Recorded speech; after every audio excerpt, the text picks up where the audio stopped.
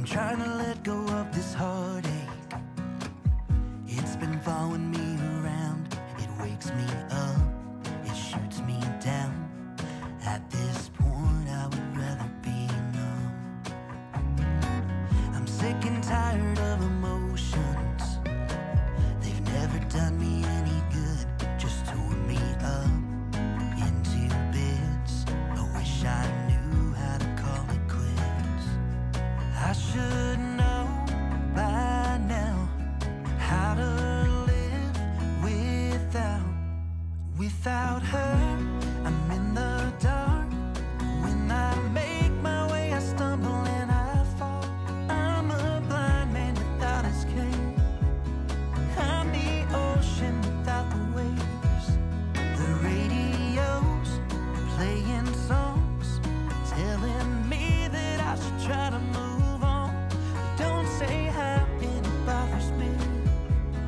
guess I'll have to try anyway.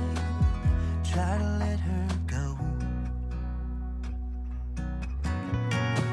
I've always liked to